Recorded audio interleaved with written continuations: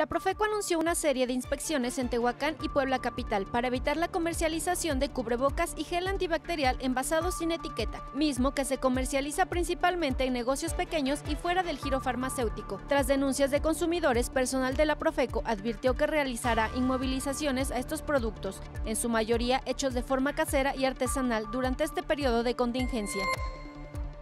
Como una medida de sanidad, los líderes de transporte han enviado a casa a choferes de edad para no ponerlos en riesgo, y ante la baja actividad se están turnando los choferes para trabajar solo mediodía, rolando con compañeros para que nadie deje de trabajar, tomando medidas como el lavado en cada vuelta de las unidades, sanitizar el interior de las colectivas, así como la de constantemente enjuagándose la boca a los choferes con agua mezclada con limón y bicarbonato, exigiéndoles además la utilización de cubrebocas.